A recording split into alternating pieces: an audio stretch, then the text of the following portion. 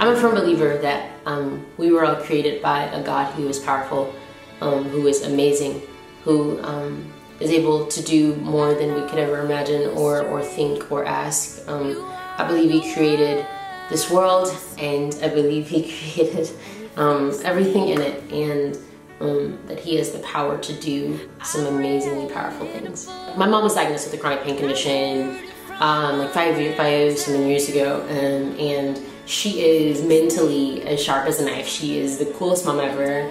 Um, her company has managed my music career since I was like 13 or 14 years old. So she's absolutely phenomenal and um, she inspires me every day. But physically, um, she goes through um, more pain than um, most doctors have ever even heard of or um, can even comprehend or understand to the point where, you know, we have uh, actually moved all the way from Atlanta, Georgia to California uh, for better doctors for her because um, we just have to continue to keep trying to find hope.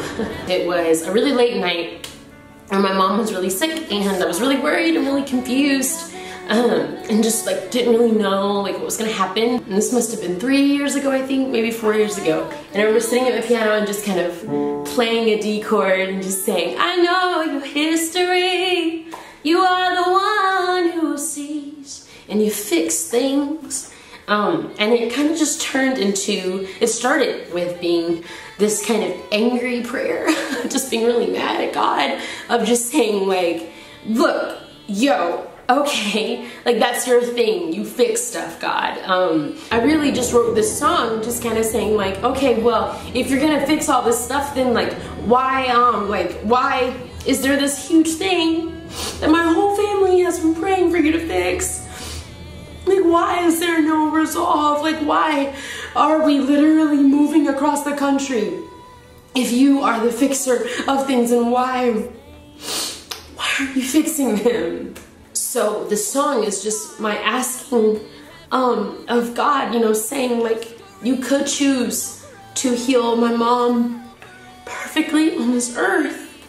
Um, but it might not be until I get to heaven. Like, I'm not really sure like what he's doing. But until then, I'm gonna keep believing in him. I'm gonna keep having faith. Um, I'm gonna keep trusting that he knows what he's doing. And I'm gonna keep serving him the best way that I can. So while this song started out as a broken prayer, it really ends on the hope and the faith that better is coming, that hope is coming, that peace is coming, that perfection is coming in heaven. Um, but no matter how long it takes to get there, no matter what the journey looks like to get there, that I want to have faith on the way and that I will keep trusting God along the way.